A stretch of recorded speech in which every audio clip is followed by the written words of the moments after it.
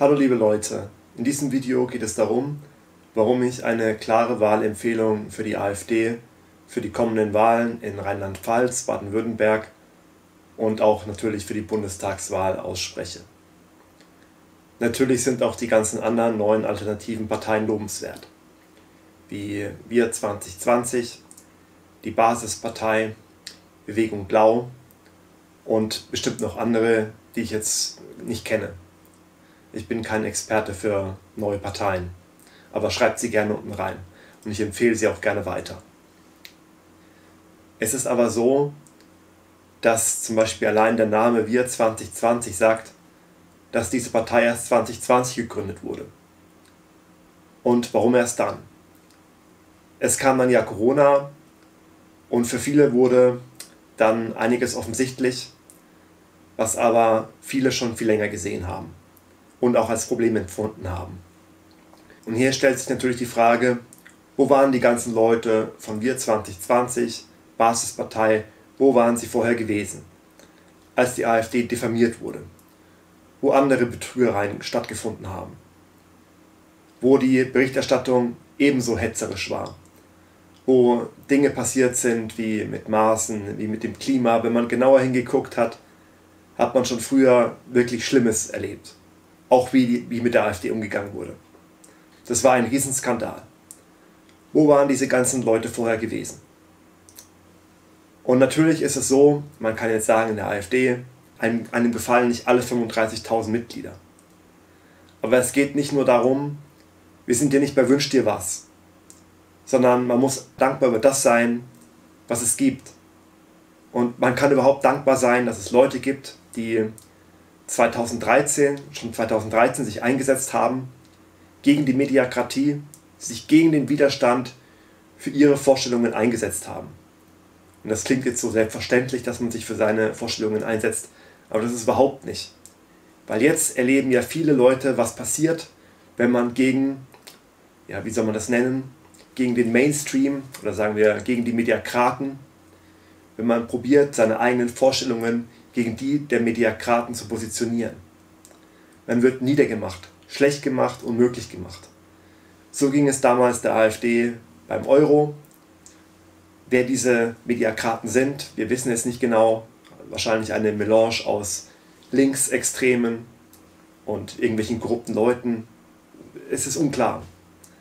Jedenfalls, die Hetze war damals schon vollkommen offensichtlich beim Euro, bei der Massenmigration, wo wahrscheinlich Immobilienspekulanten schon groß dran verdient haben an den steigenden Immobilienpreisen und ein Interesse daran hatten, dass wir viel Einwanderung haben. Die ganze Politik war früher schon ein, ein Skandal. Die Energiepolitik. Verantwortungslos. Wo waren wir 2020? Wo waren sie vor 2020? Und es ist schön, dass sie sich engagieren. Viele engagieren sich erst spät. Ich habe auch erst spät zu spät meinen YouTube-Kanal aufgemacht. Und jedes Engagement ist mit großem Einsatz verbunden. Und natürlich sind diese Parteien empfehlenswert. Aber wie gesagt, die AfD, die Leute, viele Leute, und sie wussten nicht, ob sie gewählt werden, ob sie dann Geld damit verdienen können, haben sich seit 2013 engagiert. Und das ist viel wert. Das bedeutet wirklich viel. Das muss man diesen Leuten hoch anrechnen. Dass wir jetzt überhaupt eine Alternative haben, dass wir jetzt eine Partei im Bundestag haben, die Positionen vertritt, die die Mediakratenparteien nicht vertreten. Wenn man nicht wählt, das interessiert keinen Menschen. Das ist, interessiert Merkel überhaupt nicht. Ob der jetzt 50, 60, 40 Prozent, 70 Prozent wählen, das interessiert den nicht. Und es wird immer genug Leute geben, die Merkel oder die Grünen wählen. Immer. Da, da kann man ganz sicher sein. Ich persönlich mag diese Parteien-Hinterbänklerei, diese Krämerei, diesen Filz. Ich kann es auch nicht leiden. Aber wenn man zu einem System will, hin will, wo die Parteien weniger Macht haben, in Richtung Schweiz mit Volksabstimmungen, das geht nur über Parteien. Da muss man den Leuten in Parteien auch Vertrauen schenken, wie zum Beispiel der AfD, aber natürlich auch alternativen Parteien. Man muss diesen Leuten das Vertrauen schenken, man muss auch wertschätzen, dass diese Leute überhaupt die Arbeit machen, eine Partei zu gründen, sich dahin zu setzen. Das ist alles wahnsinnig viel Arbeit. Oder allein schon jetzt Wahlkampf zu führen für die AfD, sich an den Wahlkampf Stand zu stellen und da kommen noch irgendwelche Antifanten vorbei, wird man mit Steinen beschmissen, aber allein die Zeit, die man einsetzt, Plakate aufzuhängen. Man muss das, denke ich, wertschätzen, auch dadurch, dass man dann am Ende auch wählen geht. Und nicht sagen, es ist, könnte alles viel besser sein, sondern muss man sich die Frage stellen, ja, warum hat man denn selber keine Partei gegründet? Wo war man denn selber in der Vergangenheit? Natürlich, wie gesagt, es ist alles nicht perfekt, aber man muss realistisch sein, wie kommen wir aus der Situation raus. Und natürlich ist da auch ein Gesichtspunkt, Konkurrenz belebt das Geschäft.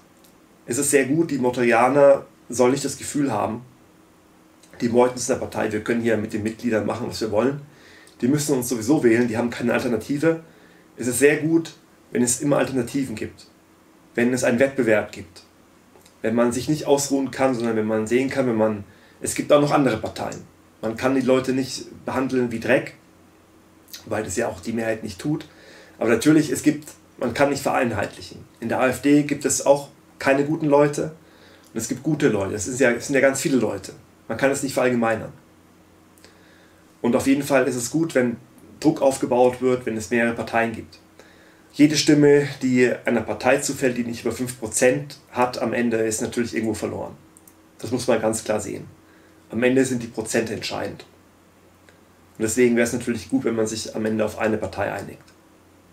Ich habe ja vor kurzem auch noch ein Video gemacht mit den Meuterianern, dass, dass das Problem besteht, dass diese ganzen Leute sich überall in der Partei festgesetzt haben. Das ist natürlich so. Das ist auch jetzt so. Das Problem besteht. Aber es hat sich jetzt leider keine neue Partei gründen lassen, wie ich es am besten gefunden hätte. Keine E-AfD. Es ist jetzt so, wie es ist. Und wie gesagt, man muss es wertschätzen, dass sie seit sieben Jahren sich hinstellen und für ihre Meinung einstehen. Und nicht erst, wenn mit Corona sozusagen das Wasser bis zum Hals steht und diese ganzen Ekelhaftigkeiten man sie jetzt auch zu spüren bekommt, am eigenen Leib wenn man dann die Maske aufsetzen muss oder anderes. Früher war es ja nur moralisch, da war das alles eigentlich noch, noch weit weg, das hat man noch nicht so selbst am eigenen Leib gespürt. Jetzt rück, rücken die Bombeneinschläge immer näher, sozusagen. Und es ist moralisch, denke ich, zweifelhaft, wenn man erst dann anfängt zu handeln, wenn es einen selbst betrifft, sondern es ist dann besser schon zu handeln, wenn es einen nicht betrifft, sondern wenn einen die Ungerechtigkeit ärgert und wenn einen die Dinge stören. So wie, wie es die AfDler gemacht haben. Wie gesagt, trotzdem ist es natürlich lobenswert und hoch anzurechnen, die ganzen Leute querdenken, wie sie sich engagiert haben. Und ich weiß ja nicht auch, was sie vorher gemacht haben. Natürlich ist es lobenswert, aber wie gesagt, natürlich viele sind vorher nicht in Erscheinung getreten und die AfDler sind eben vorher schon in Erscheinung getreten. Und deswegen der Aufruf, AfD zu wählen. Ihr könnt ja eure Meinung schreiben, wen ihr wählen wollt. Oder weshalb ich ganz falsch liege, weshalb nicht wählen doch ganz toll ist. Ihr könnt es ja alles in die Kommentare schreiben, wie ihr euch das vorstellt, wie es ohne Parteien funktionieren soll, wie man das System ändert, wie man überhaupt was ändert. Ihr könnt es mir alles in den Kommentaren erklären. Also bitte keine Anfeindung. Schreibt es in die Kommentare, wie ihr, wie ihr wie ihr es euch vorstellt, wie euer Konzept ist, wie es ohne Partei gehen soll oder aus welchem Grund ihr eine andere Partei viel besser findet als die AfD und weshalb man zum Beispiel die Basispartei wählen soll, als warum das besser ist als die AfD, weshalb ihr zum Beispiel in der Basispartei seid oder weshalb ihr in einer anderen Partei seid. Ich lasse mich gerne überzeugen. Schreibt ruhig rein, ihr müsst nicht meiner Meinung sein. Schreibt rein, welche Partei ihr gut findet, was ihr wählen wollt und die Gründe dafür. Macht's gut.